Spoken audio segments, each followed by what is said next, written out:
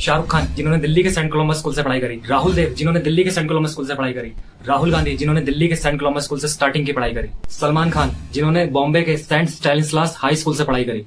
बॉबी मीरानी जिन्होंने बॉम्बे के Saint Mary school से पढ़ाई करी। अक्षय कुमार, जिन्होंने बॉम्बे के डॉन बॉस्को स्कूल से पढ़ाई करी। आमिर खान, जिन्होंने मुंबई के सेंट एनी हाई स्कूल से पढ़ाई करी। स्मृति ईरानी, जिन्होंने दिल्ली के Holy Child Auxilium High School से पढ़ाई करी। पीयूष गोयल, जिन्होंने बॉम्बे के डॉन बॉस्को से पढ़ाई करी। एल के जिन्होंने सेंट पैट्रिक स्कूल से पढ़ाई करी, जो पहले इंडिया में था और आज कराची में है। और बहुत से ऐसे मशहूर लोग हैं जो टाइम के कारण इस वीडियो में कवर नहीं हो सकते। तो इन सब लोगों ने क्रिश्चियन इंस्टीट्यूशन से पढ़ाई करी। ना तो इन्होंने अपना नाम चेंज करा और ना ही अपना धर्म चेंज करा। पर क्रिश्चियन इंस्टीट्यूशन में पढ़ने के बाद इन सब लोगों ने ये साबित कर दिया कि क्रिश्चियन इंस्टीट्यूशन एक बच्चे को जिम्मेदार और आगेकारी नागरिक बनाने में कन्वर्ट करते हैं। पवित्र शास्त्र बाइबल में उत्पत्ति की किताब अध्याय 22 उसके 18वें वचन में परमेश्वर ने अब्राहम को आशीष दी कि पृथ्वी भर की सारी जातियाँ तेरे ही वंशज द्वारा उद्धार पाएँगी। परमेश्वर की ये आशीष अब्राहम तक नहीं रुकी, बल्कि ये हमारे तक आई है और ये ही आशीष हमारी पीढ़ियों तक जाएँगी।